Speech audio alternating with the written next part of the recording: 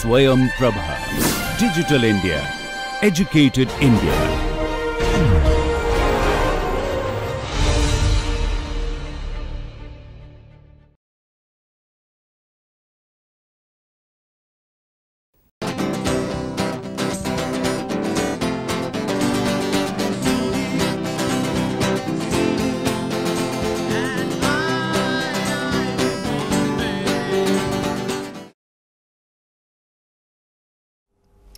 Hello and uh, welcome to lecture number 4 of this lecture series on turbo machinery aerodynamics. We have been talking about the fundamentals of axial flow compressors and in the last couple of lectures we have had some discussion on the various aspects of uh, the fundamental aerodynamics involving axial flow compressors. We have also had a lot of discussion on the various nomenclature and terminologies that are used in um, axial flow compressor analysis and uh, subsequently design of axial flow compressors. So, we have been discussing about the various aspects that are involved in design as well as uh, the nomenclature associated with the fundamental um, axial flow compressors.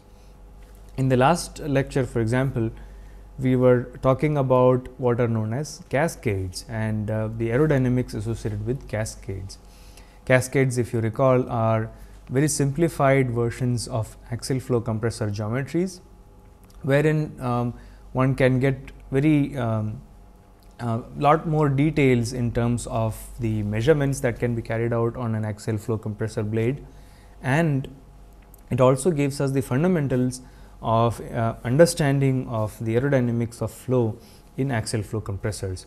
So, cascade analysis plays a very significant role in terms of um, the understanding of um, the two dimensional geometry of, uh, of an axial flow compressor blade.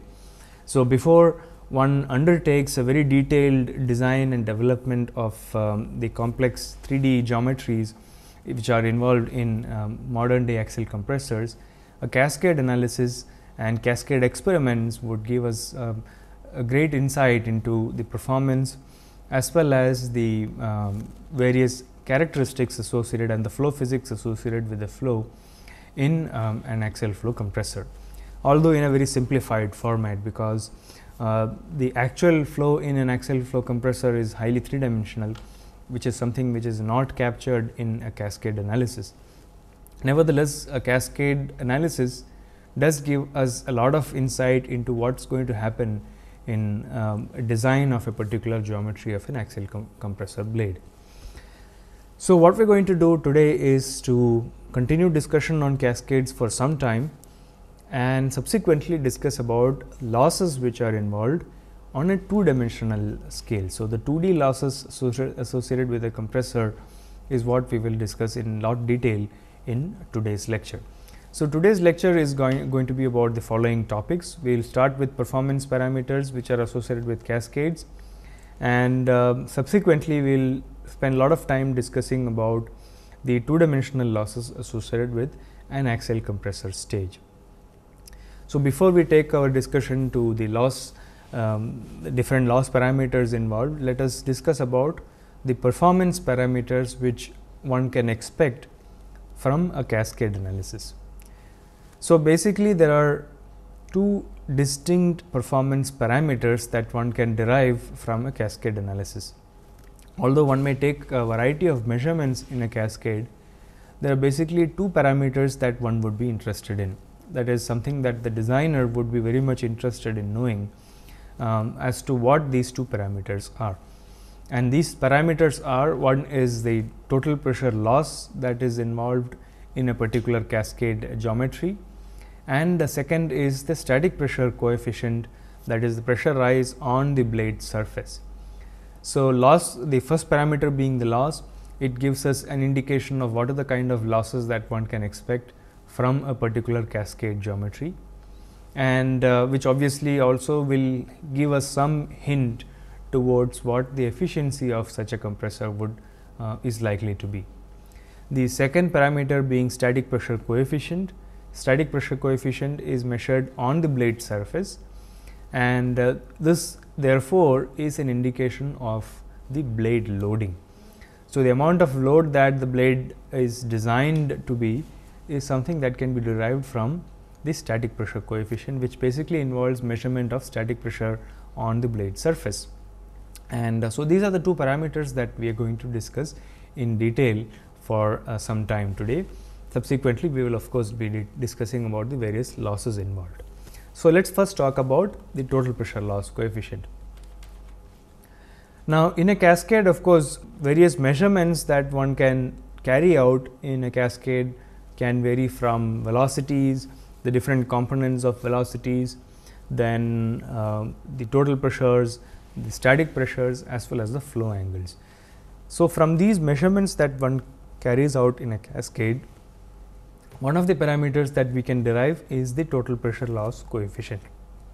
This basically is an indication of the loss in total pressure that one is likely to encounter in a particular cascade. And so, total pressure loss coefficient is defined as P 01 minus P 02 divided by half rho V 1 square. So, here P 01 refers to the total pressure at the inlet of the cascade, P 02 is the total pressure loss at the exit or at the trailing edge and the denominator refers to the dynamic pressure at the inlet, where rho is the density and V 1 refers to the velocity at the inlet of the cascade. And total pressure loss is or in fact, in general losses are usually expressed and in expressed in the form of the symbol that is omega. Omega with a bar at the top means an average total pressure loss. So, omega bar uh, refers to the average total pressure loss at the trailing edge of a particular cascade and PLC the subscript refers to pressure loss coefficient. Now, as you can see here pressure loss basically depends upon of course, the difference in total pressure between the inlet of the cascade and the exit of the cascade and with reference to the dynamic pressure that is available for the cascade. Now, in an axial compressor rotor for example, um, you would not encounter a total pressure loss in the absolute frame of reference because there is energy added in the compressor and therefore, that manifests itself in the form of a rise in total pressure. But there is a loss in total pressure in the relative frame of reference, uh, which of course, we will discuss in lot more detail in um, later lectures. So, um, the total pressure loss coefficient that you have just seen here is um, the difference in the total pressure loss between the inlet and the exit of the cascade with reference to the dynamic pressure. Now, this total pressure loss is very sensitive to the angle at which the flow enters the cascade the, or the incidence angle as we have discussed in the last class. So, this total pressure loss is highly sensitive to the incidence angle and we will see how it varies as the incidence angle changes. So, that is something we will discuss in little more detail later that as the incidence angle increases there is also a tremendous increase in the total pressure loss and beyond a certain point the total pressure loss increases substantially to such an extent that one can qualify the cascade to have stalled. So, um, at very high angles of incidence for example, if I am assuming that you have um, seen CL versus alpha curve for an airfoil that is as you keep increasing the angle of attack of an airfoil, the lift coefficient increases, but that increases only up to a certain point after which the lift coefficient drops drastically. And this is the point which is referred to as the stall of an airfoil. So, a very similar thing happens in the case of a cascade also, because the compressor blades are basically aerodynamic uh, bodies and are airfoil shapes, which means in a two dimensional sense they behave like an airfoil. So, there is a certain stalling angle which in this case the angle of attack refers to the incidence angle. So, at a certain angle of incidence the blade can stall leading to substantial increase in total pressure. So, total pressure loss is one of the parameters that one would be interested and what is the other parameter? The other parameter that we can infer from um, the cascade study is the static pressure coefficient which is denoted by Cp, C subscript P and Cp refers to the static pressure coefficient of a cascade. And Cp is measured or calculated as P local minus P reference divided by half rho V 1 square, where P local is the blade surface static pressure. That is at each individual point on the blade surface we take a static pressure there. That refers to that is basically the local static pressure and P reference is the reference static pressure usually this is measured at the cascade inlet.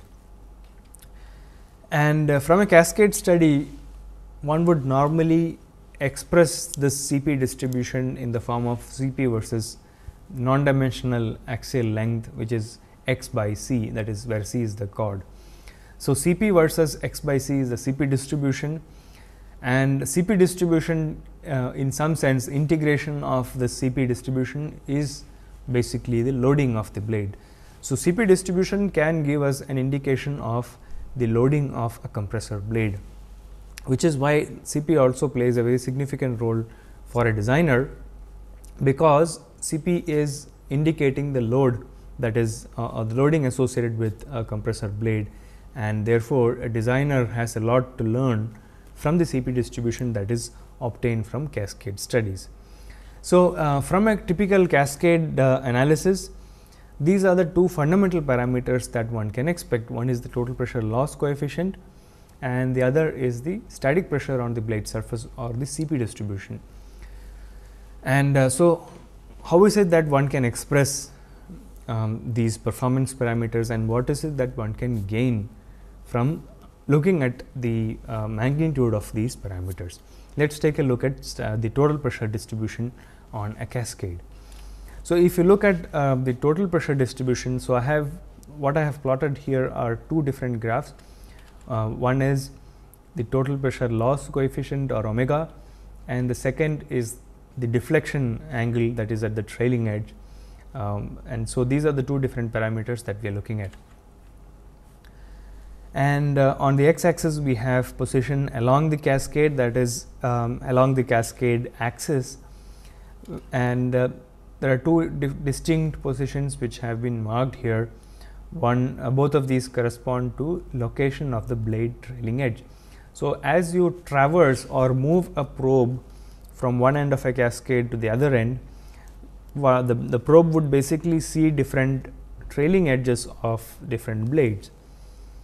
If you are measuring total pressure from the total pressure probe, there are certain points where there is a very drastic rise in the total pressure rise, uh, total pressure loss coefficient. You can see here that there are two distinct peaks which you can see which correspond to very substantial increase in total pressure loss. Elsewhere the losses are close to 0. So, these two points correspond to the trailing edge of two different blades.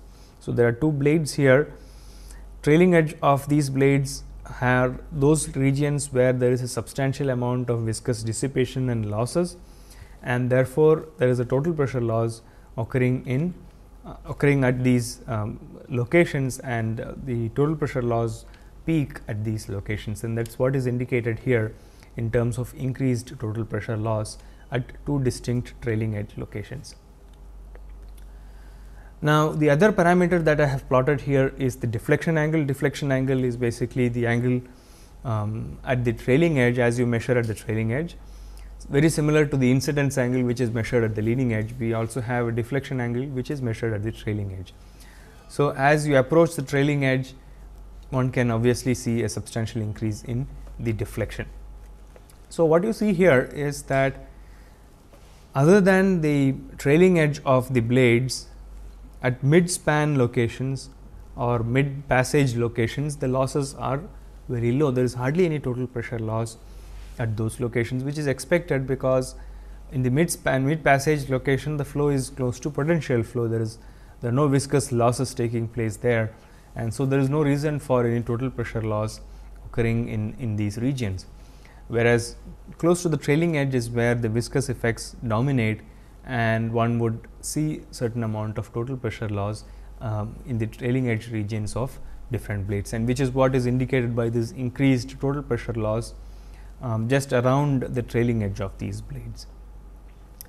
Now, um, I mentioned if you recall a few minutes ago that as you increase the incidence angle beyond a certain incidence the blade tends to stall and what is meant by stalling is I assume that you have already seen airfoil stall. That is at certain angle of attacks an airfoil um, the flow separation begins at the on the suction surface of an airfoil for positive incidences and uh, as you keep increasing the incidence angle the flow region or the extent of flow separation increases to such a region um, um, point that beyond a certain point the flow separation um, engulfs the entire uh, suction surface leading to what is known as stalling of the blade. We are likely to see a very similar thing happening even in a cascade as you change the incidence angle. As the incidence angle increases beyond a certain level, the cascade also experiences what are known what is known as blade stall. So, let us take a look at one example of a cascade which is operating under two different uh, modes or conditions.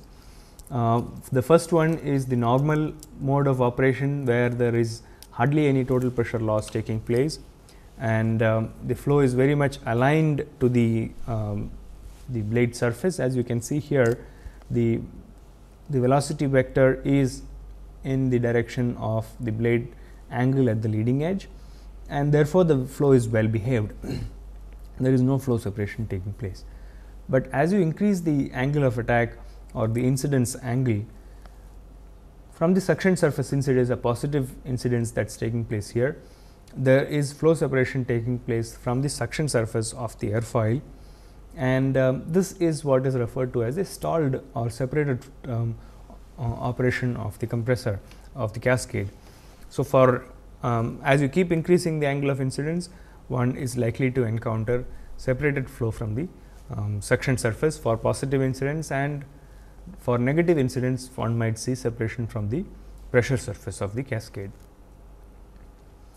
Now, I also mentioned that total pressure loss is extremely sensitive to the incidence angle.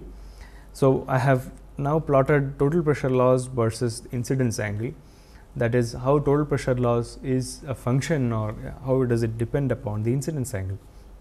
So, as you change incidence angle one can see that total pressure loss changes drastically and that is more true for negative um, for positive incidence angle that is total pressure loss increases drastically for um, increased uh, positive incidence angle around 0 degrees and a few negative incidence angles total pressure loss is more or less constant beyond which again total pressure loss increases. Now, as a thumb rule what people have kind of um, observed is that as you keep increasing the incidence angle and if you notice that the total pressure loss has doubled then the angle at which the total pressure loss has doubled is kind of taken as the point at which the cascade has stalled. So, double the total pressure loss as compared to the lowest total pressure loss indicates the angle of incidence for which the blade has stalled. Of course, this is a, a an empirical uh, kind of a thumb rule which people have observed by carrying out experiments over several cascade blades that this kind of a thumb rule has been um, arrived at. So, uh, let me quickly um, recap what I have been talking about in the last few minutes. We were discussing about the performance parameters associated with cascades and how is it that we can use cascade data um, in terms of the data that is obtained from a cascade, how is it that, that we can make use of um, the cascade data. Now, in the next part of this uh, lecture that I am um, that we shall be discussing, we will be talking about losses in a, a compressor blade. We will be focusing our discussion on the 2D losses associated with the compressor uh, blade. And um, we will of course, be discussing more details about the 3D losses in a separate lecture. In today's lecture, we will basically be talking about the two dimensional losses in a compressor. So, um, before I discuss about the 2D losses, let me also discuss about losses in general in a compressor blade. Now, there are different ways of classifying losses in a compressor in an axial compressor. One set of losses is um, referred to as viscous losses like for example, the total pressure loss which I discussed uh, with reference to a cascade is a kind of a viscous loss. There are a whole lot of losses associated with the three dimensional flow.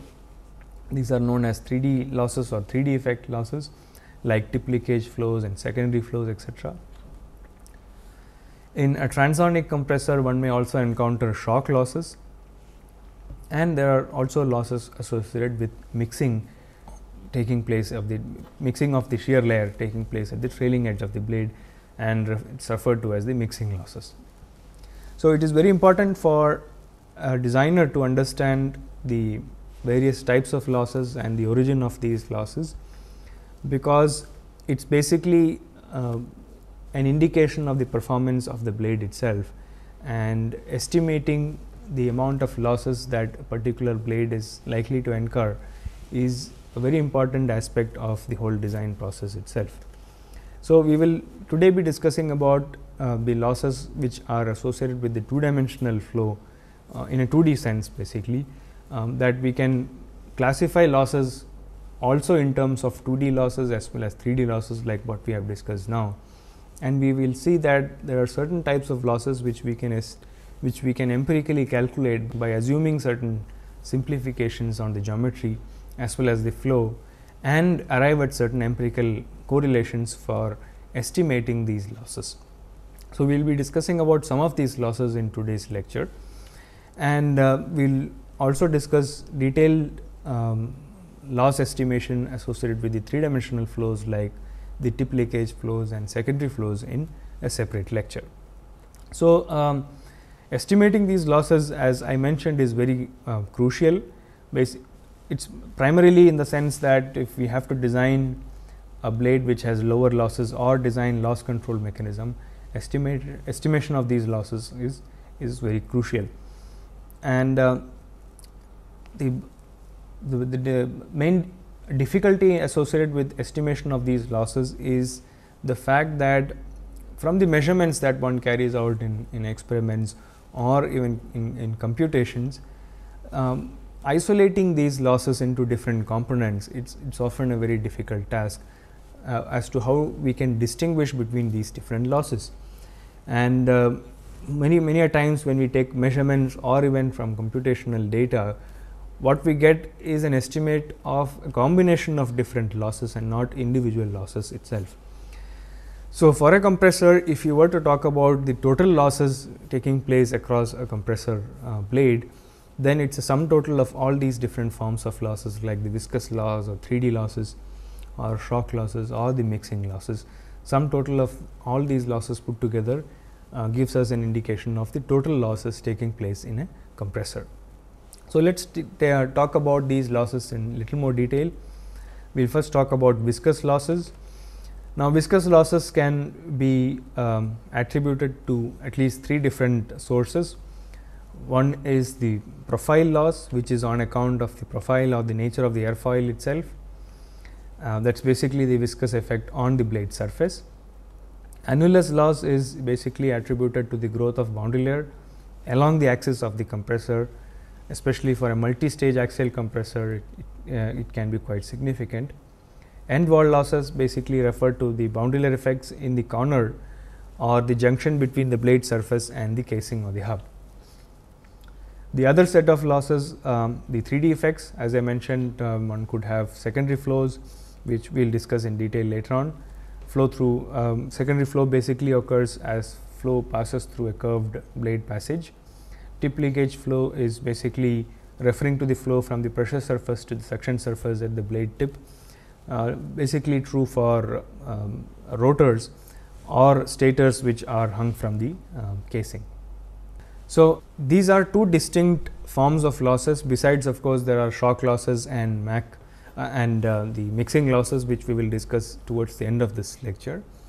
And um, so, viscous loss is what we will be discussing in terms of the 2D losses that, that are associated with uh, compressor blades.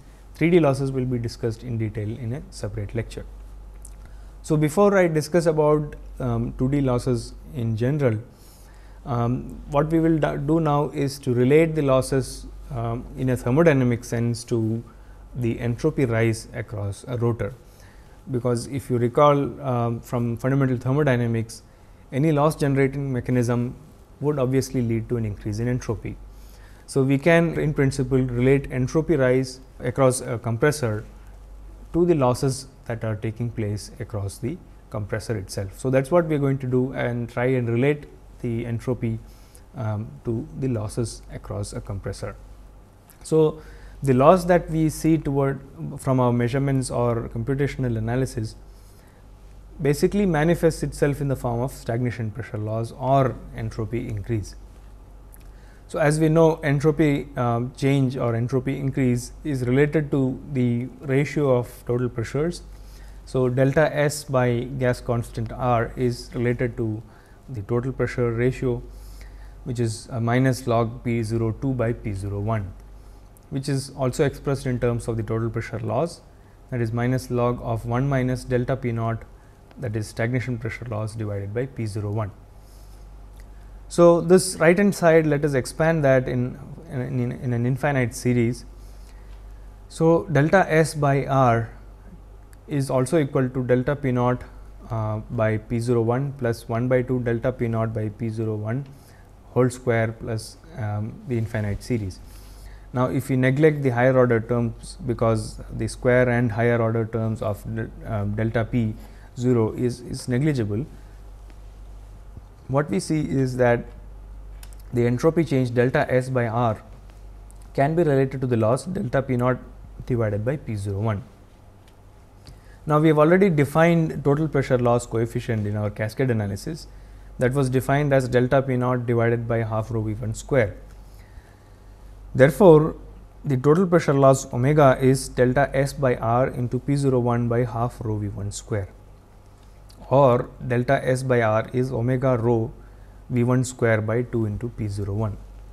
So, what we can see is that there is a direct correlation between the uh, entropy rise and the total pressure loss and they are directly proportional as we had expected that entropy rise across the or the total pressure loss that is incurred in an axial compressor or in any turbo machine for that matter is related to uh, the change in entropy across that um, particular compressor blade.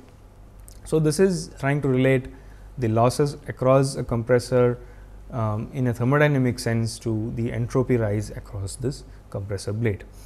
And so, um, in general if we if we were to isolate all these different components of losses, the profile loss, the 3D losses, the shock losses and uh, the mixing losses and so on, the net loss across a compressor or a turbo machine is the sum total of all these different individual components of losses. So, the overall loss in a turbo machine can be summarized as the uh, sum of all these different components of losses, the profile loss, the shock losses which is true only for a transonic um, machine uh, if the flow is supersonic and um, the secondary flow loss or and the tip leakage flow loss these are of course 3D losses and the end wall losses.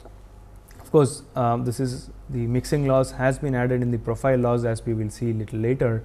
Mixing loss is usually added to the profile loss itself and we are going to estimate mixing losses uh, the sum total of mixing and profile losses empirically by um, calculating or uh, by estimating the mixing and the profile loss together. So, that is what we are going to do next in terms of estimating the losses across a compressor in a 2D sense uh, by adding up the profile loss and the mixing loss.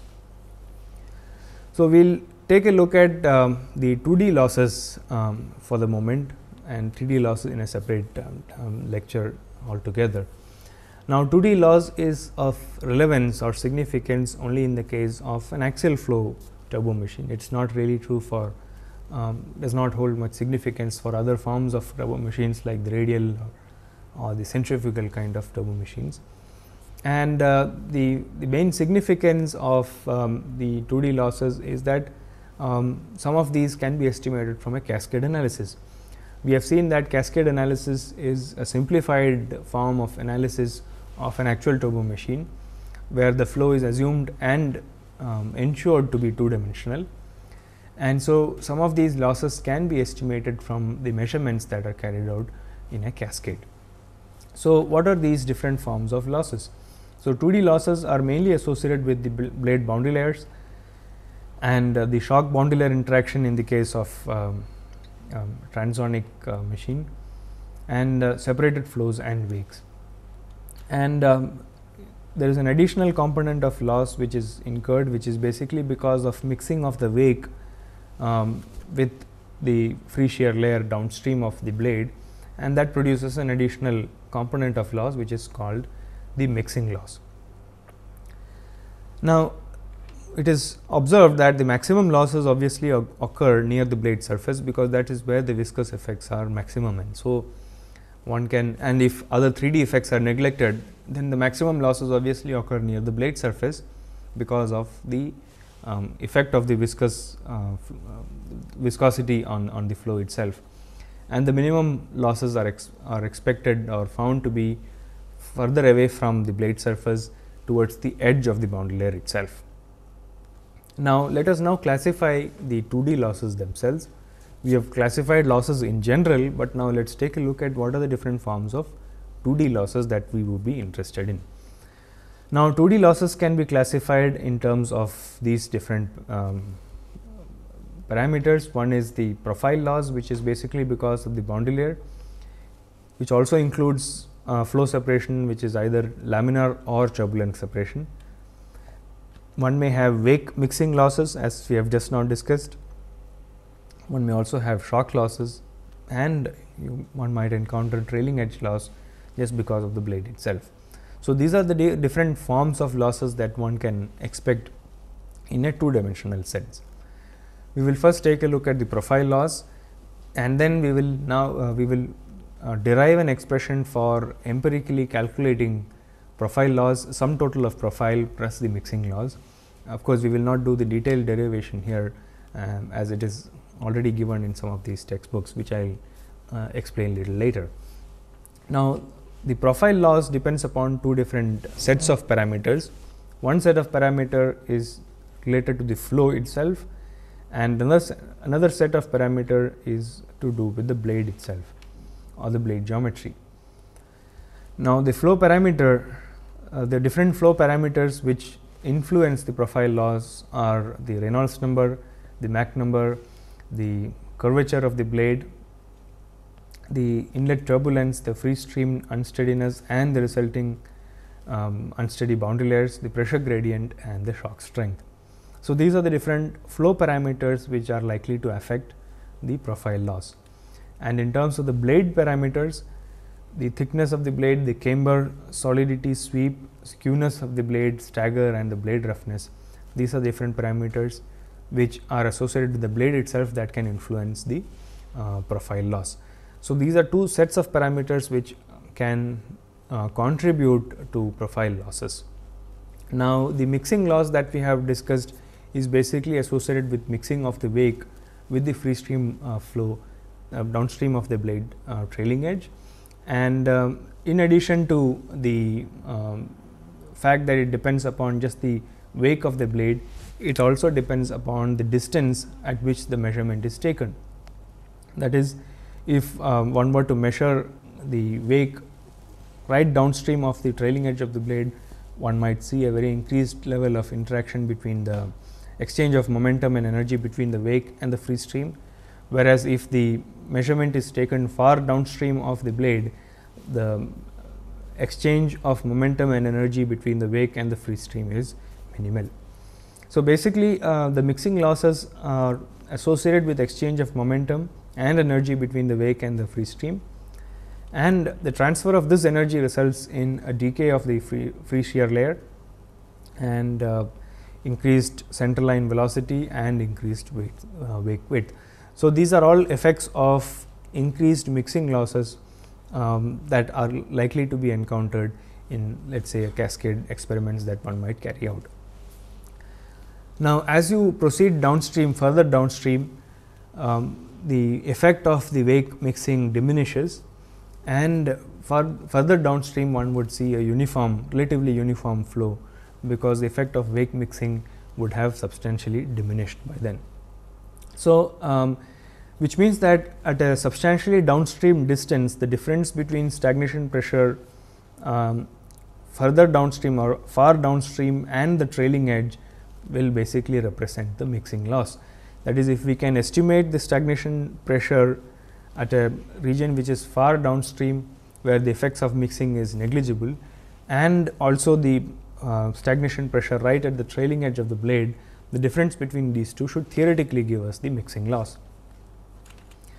But what we will see very soon is that most of these correlations which we are going to encounter are based on measurements which are downstream of the trailing edge by half the chord length or one chord length or some distance in between these two, which means that we may be missing certain amount of um, mixing losses. We may not be uh, including all the mixing losses which one should have, which will occur only if the measurement is taken right at the downstream, right at the trailing edge and at a distance which is uh, far downstream of the trailing edge.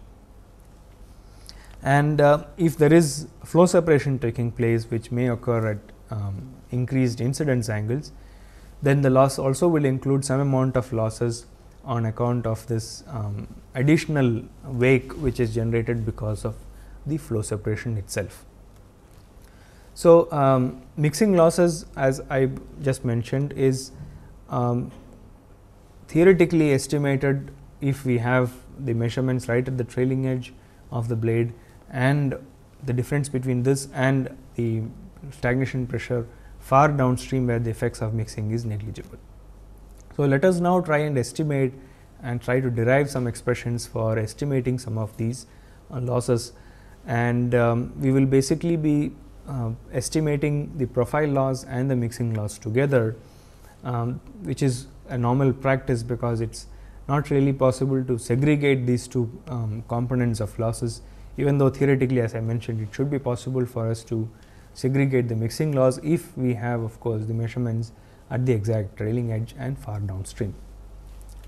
So, the sum total of the profile and the mixing losses along a streamline we can estimate as um, omega bar p plus m refers to profile plus mixing is equal to uh, the difference between the total pressure far upstream or in the free stream P 0 t minus P 0 2 which is the downstream um, total pressure divided by the dynamic pressure at the inlet.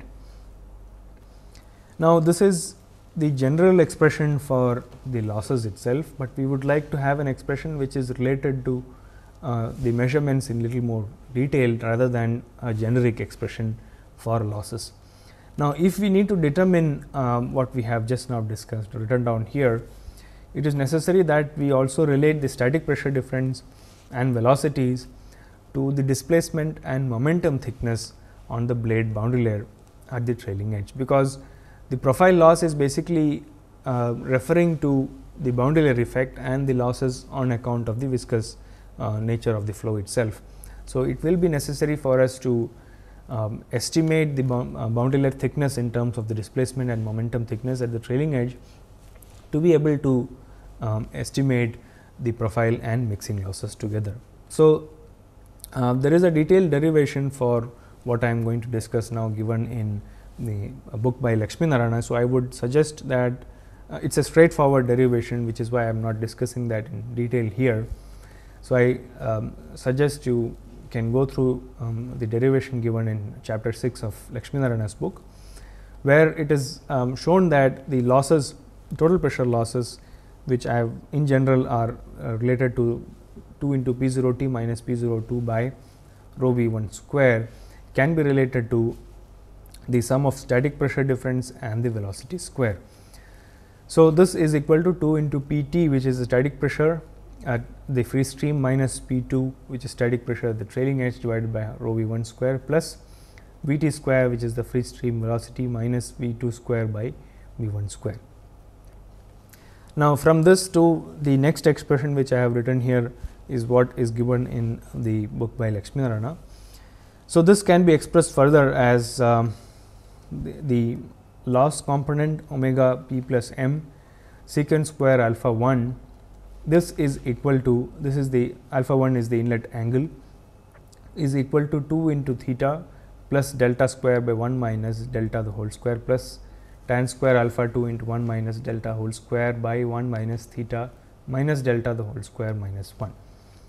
Now, here delta and theta refer to the displacement and momentum thickness delta refers to the displacement thickness which is also an indication of the blockage. Theta is um, referring to the momentum thickness which is directly related to the total pressure loss. So, if we expand this in series and neglect higher order terms, then the loss expression can be simplified as um, omega bar p plus m secant square alpha 1 is equal to 2 into theta plus theta tan square alpha 2. So, here what we see is that um, if we neglect the higher order terms the loss is directly proportional to the momentum thickness. So, there is no displacement thickness term coming here if of course, we were neglecting the higher order terms and expanding it that way. The um, displacement thickness terms actually cancel out, which is expected because if you look at total pressure loss, the main um, contributor to that is basically the momentum thickness because um, momentum thickness is directly an indication of the total pressure loss taking place um, in, a, in a boundary layer. Displacement thickness tells us what is the kind of blockage associated with this um, flow. So, if we were to neglect the higher order terms, one can um, relate the profile and mixing loss together to the momentum thickness by the correlation that I have just now discussed.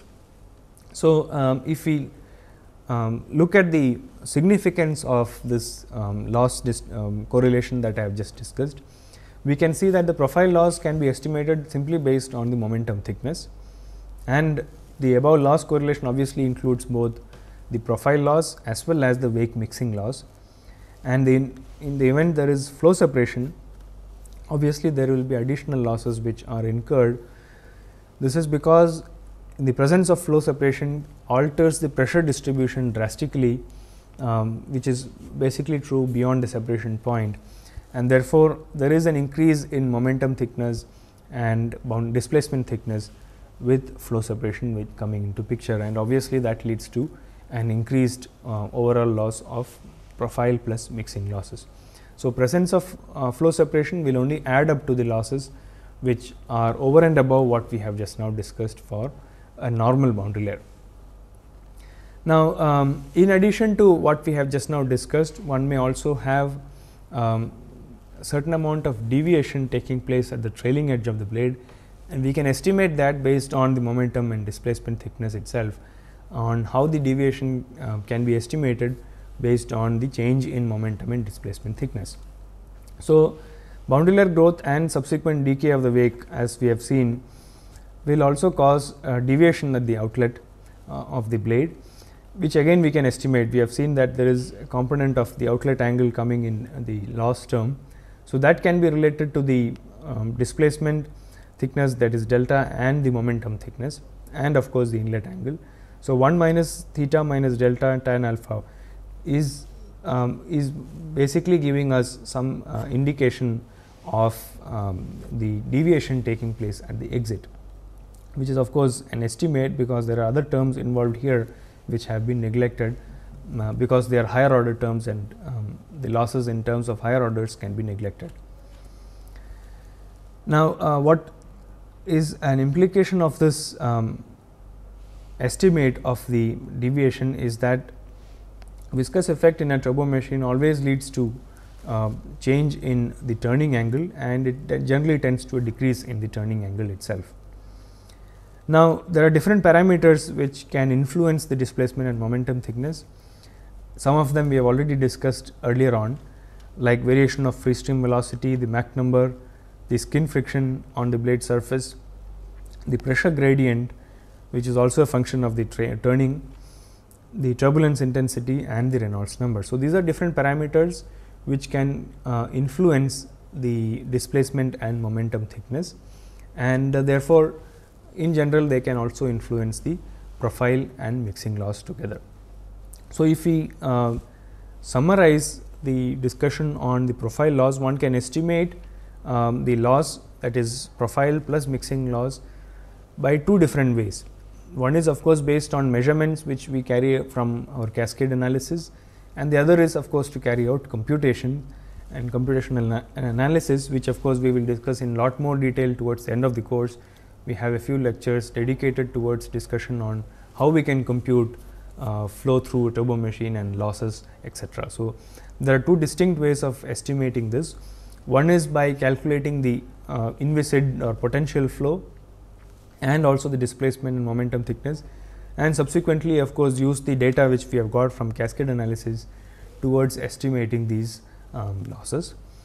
the other method of course is to use a Navier-Stokes based computational code and here of course one can uh, get the local and integrated losses um, directly without having to um, of course segregate the losses.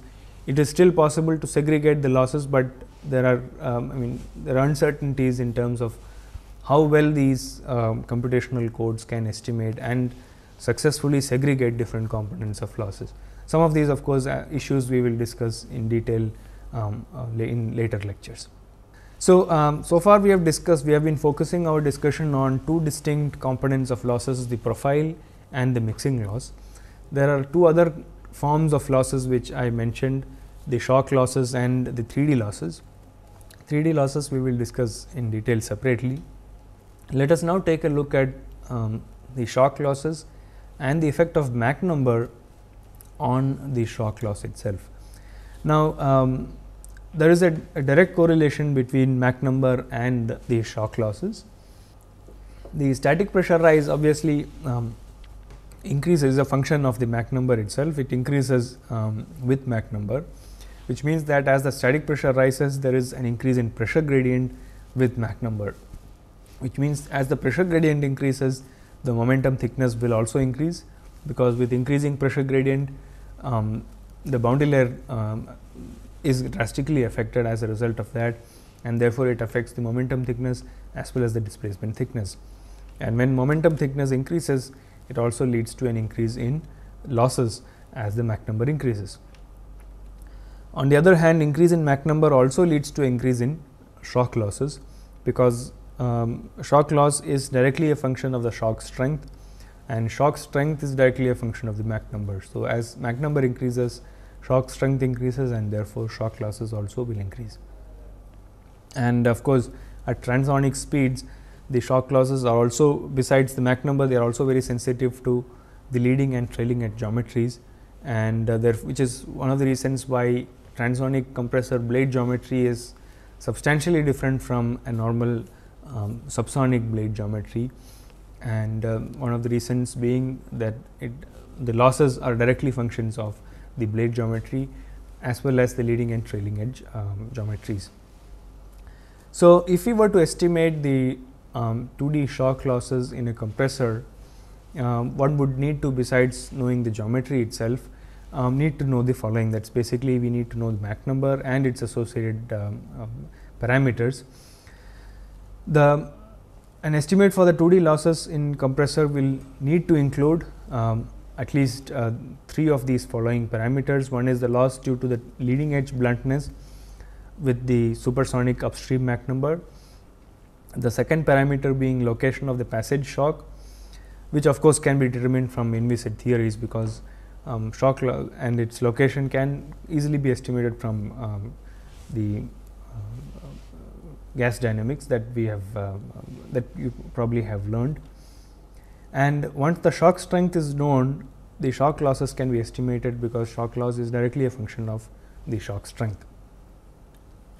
The third parameter which is probably the most significant and the trickiest of them is the shock boundary layer interaction that is the losses because of boundary layer growth and interaction between the shock and the boundary layer is something that is um, quite difficult to estimate and uh, there are no empirical or theoretical correlations as such which can estimate shock and boundary layer interaction and this happens to be um, con continues to be uh, an area of research for many people who work in the area of shock boundary layer interaction on how one can um, accurately um, estimate and predict shock boundary layer interaction. And uh, of course, needless to say for weak shocks the interaction between the shock and the boundary layer is minimal and therefore, the loss contribution is also minimal. However, as the shock strength increases the corresponding um, shock boundary layer interaction becomes quite significant and estimating that becomes even more critical and tricky. So, these are three different um, parameters that one we need to take into account when uh, one is trying to estimate shock losses in at least a two dimensional sense. Um, the strength of uh, the amount of loss of course depends upon the shock strength which again is a function of the Mach number and the geometry. Now, let us now take a look at one of the empirical correlations amongst many others, which have been kind of being proposed over many years now and is being widely used to estimate the shock of the losses total pressure losses associated with um, the uh, shock in a transonic compressor. And um, this is an empirical correlation which has been successfully used and validated with experimental data. Of course, this was proposed long back by Freeman and Cumpsty in 1989. And um, the shock loss is basically a function of the total pressure loss, um, which they have correlated is uh, to a normal shock plus an empirical term here. So, delta P naught loss the stagnation pressure loss across the shock divided by P 01 minus P 1 which is the static pressure. This is basically for a normal shock plus an empirical term here 2.6 plus 0.18 into alpha 1 prime minus 65 degrees and multiplied by 10 power minus 2 into alpha 1 minus alpha 1 prime, where alpha 1 prime is the blade inlet angle. So, here um, this difference between these two tells us the incidence. So, this is basically valid for very low incidence angles and uh, it has been seen that it is reasonably accurate up to about um, an angle of 5 degrees and as incidence exceeds um, 5 degrees then the prediction uh, of shock losses by using this correlation is um, not very accurate.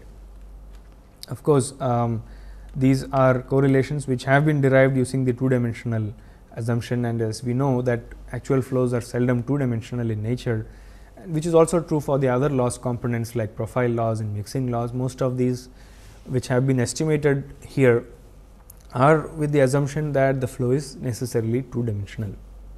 So, the presence of three dimensionality or three dimensional uh, flows will only complicate uh, the losses um, and um, which is why we have devoted a separate uh, lecture altogether which discusses purely the 3D flows, the tip leakage flows and the secondary flows. So, the shock loss correlation that I have shown here is just one of the many correlations which are available. This is one which has been validated and widely used for estimating shock losses uh, in a transonic axial compressor. Um, so, let me now quickly recap our discussion in today's lecture uh, where we discussed two distinct aspects. One was to do with the cascade analysis and performance parameters which we can derive from a cascade analysis. Um, we discussed about two distinct parameters, one is the total pressure loss coefficient and the other is the static pressure rise um, or CP. Total pressure loss is an indication of the losses taking place across the uh, cascade and the static pressure rise or CP distribution gives us some indication of the loading of the blade and these are two um, common parameters which one can derive from a cascade a simple cascade analysis. The second part of the lecture was uh, discussion on losses. We classified losses in general as profile loss, mixing loss, 3D losses and um, also the shock losses associated with transonic compressor. In out of all these we have um, devoted today's lecture towards discussion on 2D losses and I discussed two distinct components of these losses the profile plus mixing loss and the shock losses in general. So, it is possible for us to empirically estimate these losses based on certain correlations which I have discussed today and uh, these are uh, empirical correlations which can make use of uh, data which one obtains from a cascade analysis and one can estimate losses taking place um, in a particular cascade geometry using the data that is obtained from the cascade study and also try to segregate losses in terms of profile plus mixing as one component and shock losses as a, as a separate component. So, these are the different aspects that we had discussed in today's lecture performance parameter from the cascade analysis 2D losses in uh, compressor stage basically focusing on the primary losses. And uh, in the next lecture what we will do is to um, take up some problems for solving. We will basically have a tutorial session in the next lecture. We will solve a few problems and I will also leave a few problems for you to solve as tutorial exercise problems. So, this is what we will be taking up for discussion in the next lecture.